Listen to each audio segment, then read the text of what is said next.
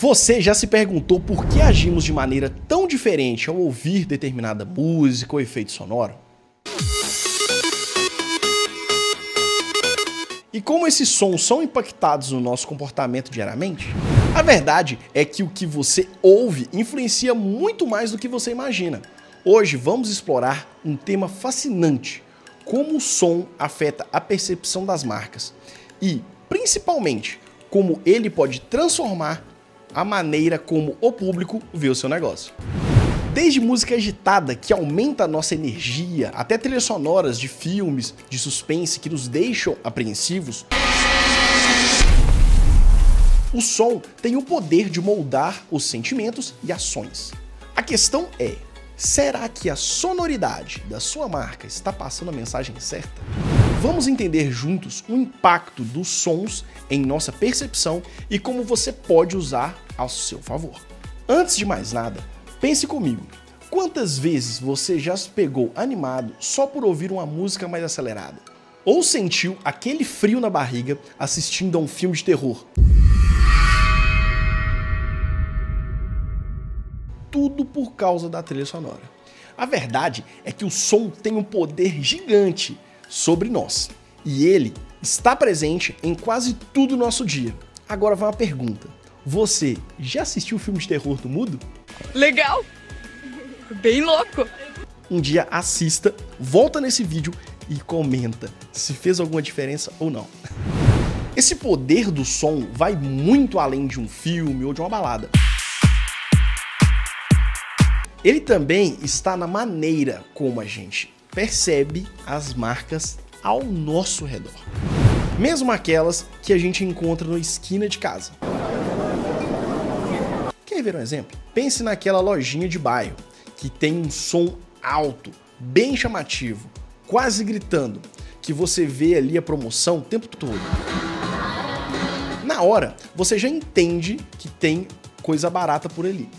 Agora, entre numa loja que só toca uma música suave, meio baixa, você sente que está em um ambiente diferente, talvez mais sofisticado.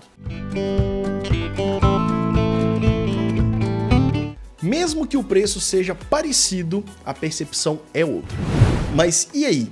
Como isso tudo se aplica ao seu negócio?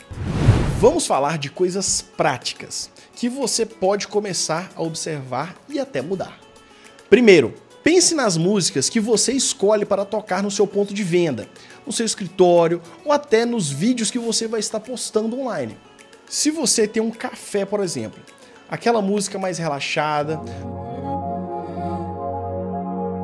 quase que chamando para o cliente ficar por ali, aproveitando o tempo, cria um ambiente que faz com que as pessoas queiram voltar e é exatamente o que você quer, não é?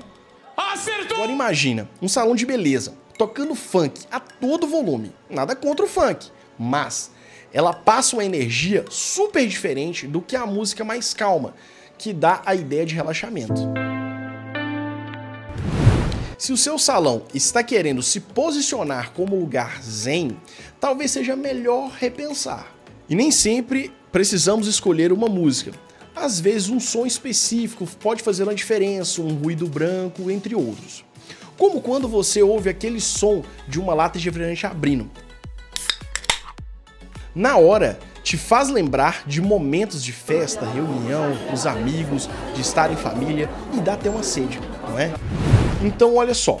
O som é uma ferramenta super poderosa e ele está moldando a percepção das pessoas sobre o seu negócio, mesmo que você nem tenha se dado conta disso. Vamos recapitular algumas coisas. Primeiro, a música e o som que você escolhe tem tudo a ver como o seu público te enxerga. Segundo, esse som não precisa ser complexo ou você adquirir uma faixa exclusiva para o seu negócio, mas ele tem que estar alinhado com o que você quer que sua marca transmita. Por exemplo, se o seu negócio é mais voltado para o público jovem, descolado, dá para brincar com sons modernos ou algo mais agitado.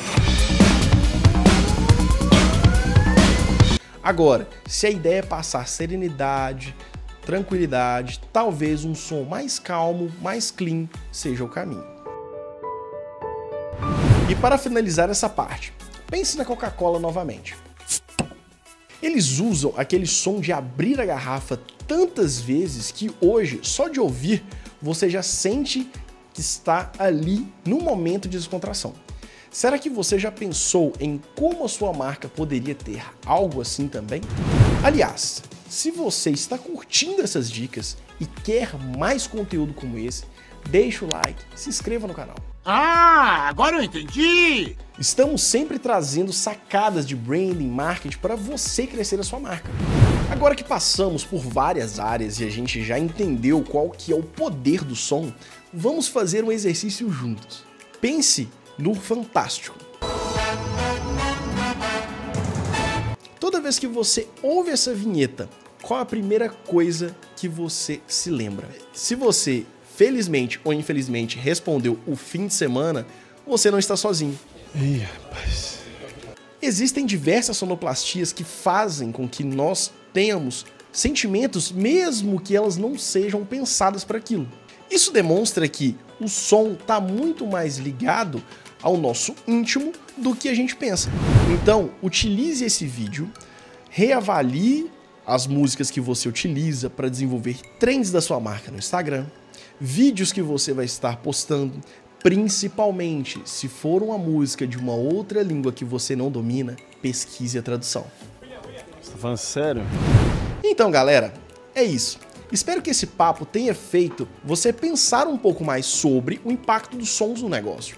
Agora dá uma olhada como as músicas e os sons que você escolhe estão afetando a percepção dos seus clientes. A gente vai ficando por aqui.